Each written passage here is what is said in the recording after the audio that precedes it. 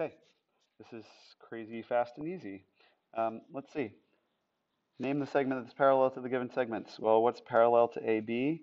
We know that FE is parallel to AB because the two sides that are not uh, running from A to B are split into equal segments. We know that we're dealing with a mid segment of this. Okay, so we say, well, AB is parallel to FE, and we want to write it as a segment. Okay, EF, EF, what is parallel to EF? Well, we already know that. That's AB, and we know that because we just described that there. So, AB.